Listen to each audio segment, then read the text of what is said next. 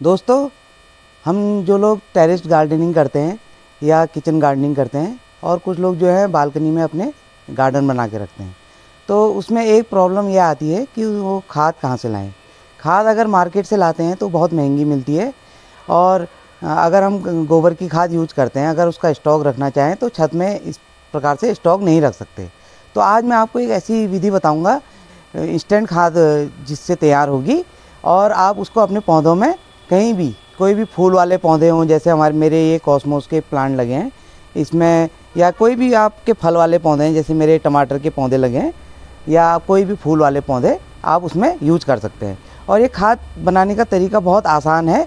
मैं अपने गार्डन में इसी विधि से अपनी जो खाद का प्रयोग करके, अपने फूल वूल में जो प्रयोग करता हूँ खाद का, इस खाद को बनाने की विधि मैं आपको बताऊँगा। उससे पहले जो लोग मेरे चैनल में नए जुड़े हैं प्लीज़ सब्सक्राइब कर लें। और अगर आपको वीडियो अच्छी लगती है तो लाइक और शेयर ज़रूर करें। चलो स्टार्ट करते हैं। दोस्तों, मैं जो एक खाद बनाने की विधि आपको बताऊँगा, ये आपके घर पे ही तैयार हो जाएगी आसानी से।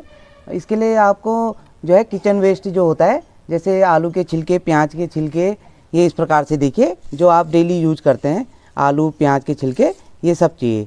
आलू में जो होता है प्रचुर मात्रा में लोहा भी पाया जाता है लोहा यानी आयरन और कार्बोहाइड्रेट पाया जाता है, जो पौधों की अच्छी ग्रोथ के लिए बहुत आवश्यक है। और प्याज के छिलकों में आपको पता ही होगा, प्याज के छिलके की खाद आपने कई जगह देखी होंगी वीडियो में।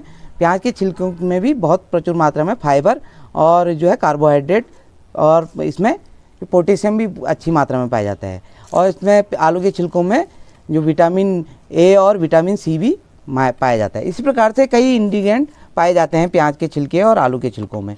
ये आपने भिगाए हैं। आप इसमें बनाना पील भी रख सकते हैं। और आप जो सेब काटते हैं, सेब या कोई भी फल, उनके छिलके से भी आप खाद तैयार कर सकते हैं। इस तरीके से आप खाद तैयार करेंगे। देखिए, ये जो विधि है, ये इंस्टेंट खाद बन जाएगी आपकी इस विधि से। आप इनको पौधों में यूज़ कर सकते हैं। तो इससे पहले कि आप वीडियो को स्किप करें या आप ये विधि पूरी देखें खाद बनाने की क्योंकि इसमें मैं एक इंग्रेडिएंट और डालूँगा जिससे कि ये खाद जल्दी तैयार होगी। ये देखिए, आपको क्या करना है? एक थैला लेना है कोई भी, या कपड़ा कॉटन का यूज़ करें। और अगर ये जो थैले आते हैं मार्केट से कपड़े के, इसमें आप इस छिलकों को डाल देंगे। देखिए, मैंने ये भिगा के रख रखे। इस प्रकार से ये भिगाने कैसे हैं? आपको एक बाल्टी लेनी है बकेट में पानी रखना है। पानी में ये छिलके इस तरीके से डाल देने हैं। ये इसमें भीगते रहेंगे। और भीगने से क्या होगा, ये जल्दी डिकम्पोज होकर इसमें खाद जो होगी, वो तैयार हो जाएगी। आपका लिक्विड फर्टिलाइज़र तैयार हो जाएगा। उसके लिए आपको एक मेन चीज़ जो इंग्रीडियंट चाहिए, खाद जल्दी तैयार करने के लिए, वो मैं आपको बताता हूँ। ये देखिए, ये है खास इंग्रीडियंट ये दही या मट्ठा जो आप यूज़ करते हैं, दही भी यूज़ कर सकते हैं इसमें। नहीं तो आप मट्ठा जो जो लस्सी अस्सी बनाते हैं उसको भी यूज़ कर सकते हैं। इस प्रकार से आप इसको इस पानी में मिला देंगे। इस पानी में मिलाने से क्या होगा?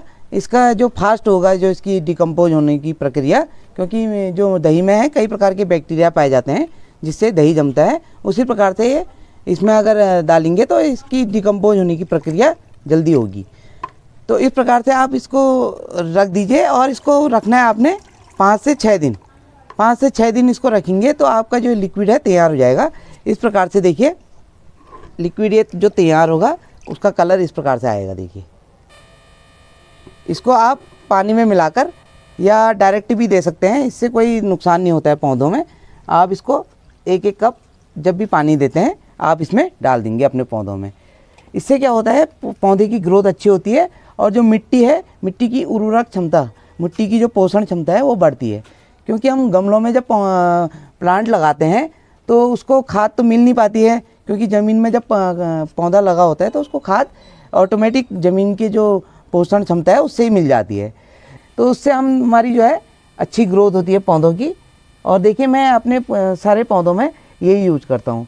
इसी प्रकार से मैंने सभी जो टमाटर के पौधे भी लगा रखे या कोई फल वाले पौधे, आप उसमें भी इसको यूज़ कर सकते हैं।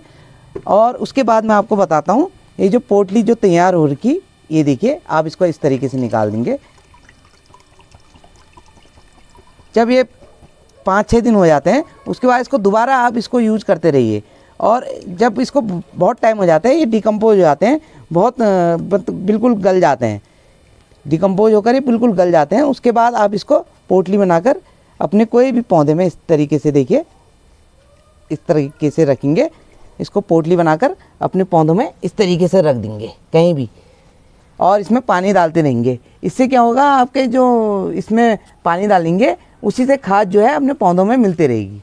इस प्रकार से आप अपने पौधों में खाद की व्यवस्था कर सकते हैं क्योंकि जो हम किचन गार्डनिंग करते हैं कई लोग बालकनी गार्डनिंग भी करते हैं तो उसमें ये क्या होता है ये ये कचरा इसमें यूज़ हो जाता है।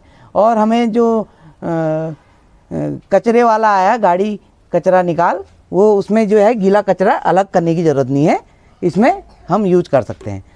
ये देखिए जैसे मेरा अमरूद का पौधा है ये मैंने ड्रम में लगा रखा। इसमें भी मैंने जो खाद तैयार करी थी, आपके किचन वेस्ट की, इसमें मैंने ये लगा रखा है, देखिए, इसमें कितनी डिकम्पोज होगी है आप भी इस तरीके से, ये देखिए, इसमें सब वही है, ये डिकम्पोज होने लगी है हल्के हल्के। ये देखिए डिकम्पोज हो रही है। इसमें मैं ये, जो पौधे हैं, अपने उसमें यही यूज़ करता हूँ। हल्के हल्के डिकम्पोज होते रहेगी, आप इसमें पानी डालते रहेंगे तो उससे क्या होगा, ये हल्के हल्के डिकम्पोज होगी। और इससे कोई स्मेल भी नहीं आती है और आप सोचोगे स्मेल आएगी बहुत, कीड़े, मक्खी वगैरह लग जाएँगी, इससे ऐसा कुछ नहीं है, क्योंकि हमने बाँध रखा, देखिए। मैं हर पौधों में अपने ये यूज़ करता हूँ। खासकर जो बड़े प्लांट हैं, उनमें तो ये पूरा पोटली बनाकर, ये पूरे महीने भर गए देखिए।